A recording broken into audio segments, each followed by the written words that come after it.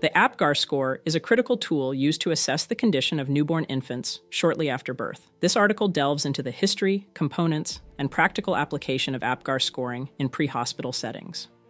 Dr. Virginia Apgar developed the APGAR score in 1952 to standardize the evaluation of newborn infants. She introduced this scoring system in 1953, establishing a method to assess five key criteria of newborn health. The APGAR score evaluates five criteria appearance, color, pulse, heart rate, grimace, reflex irritability, activity, muscle tone, and respiration.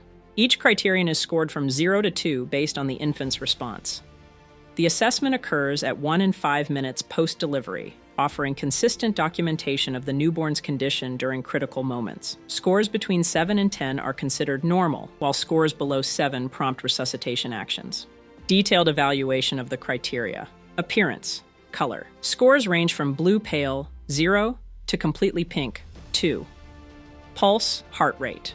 Scores vary from absent, 0, to greater than 100 beats per minute, 2. Grimace, reflex irritability. Assesses response from no response, 0, to vigorous cry, 2. Activity, muscle tone. Ranges from flaccid, 0, to active motion, 2. Respiratory effort.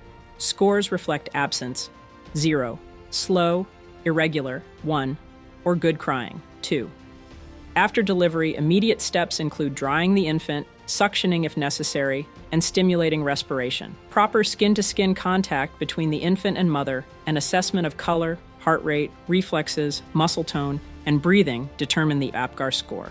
Resuscitation decisions are not delayed by APGAR scoring. Instead, they rely on clinical indicators like respiration, heart rate, and color. An APGAR score below 7 necessitates immediate actions to stabilize the newborn.